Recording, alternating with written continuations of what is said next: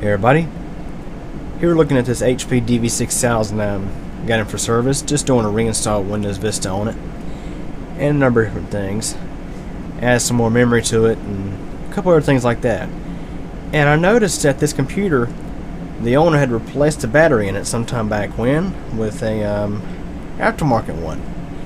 Now generally, I mean, in my experience, I've had good luck with aftermarket laptop batteries, in many cases. One is being with my Dell Inspiron 1525. I purchased a replacement battery for it back in let's see, late 2011, and that battery is still working just fine almost three years later. So, anyways, this laptop has a Trent brand battery installed, and I noticed after installing Windows Vista, it was showing, you know, like 13% available. It said plugged in but not charging. So okay, I'll try a different battery. I got another DV6000 over there that is not working at the moment. I might try to see if I can get it working. But anyways, I pulled the aftermarket Rayovac battery out of that one, stuck it in here.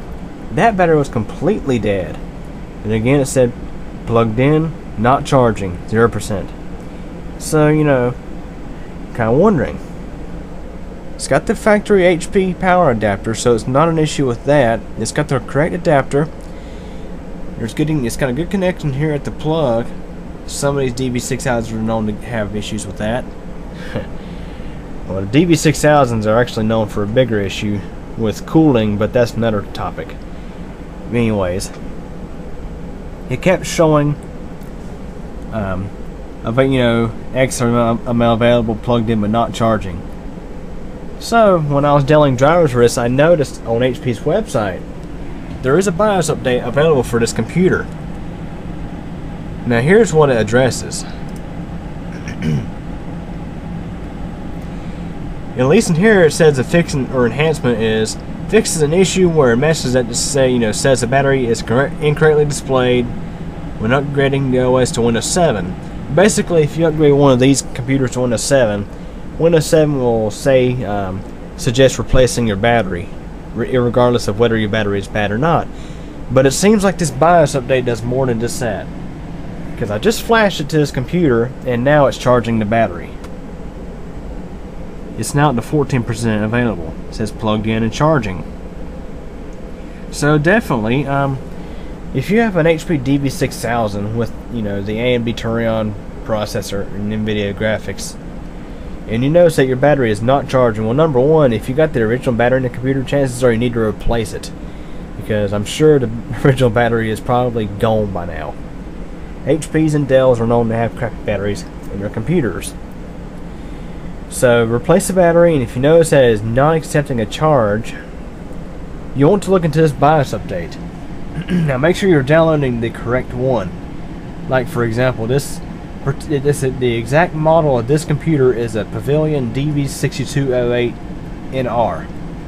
So make sure you download the correct BIOS update for your computer and flash it. Then you should be able to charge your battery. But yeah, anyways, I tried a number of different things for flashing this BIOS. I tried starting the computer up without a battery installed, and then installing the battery with Windows already up and running. It still didn't want to charge it. Basically, this light was just flashing you know, indicating there's a problem with the battery, when in fact the battery was just fine. So anyways, you can see it's definitely charging the battery now. And before I wrap up this video, you may have heard me mention there was a bigger issue with these HP DV6000s. I mean, just for example, that one right there is dead, and this one right here is also dead, acting strange. I've had at least three or four dead DV6000s come in for parts and stuff like that.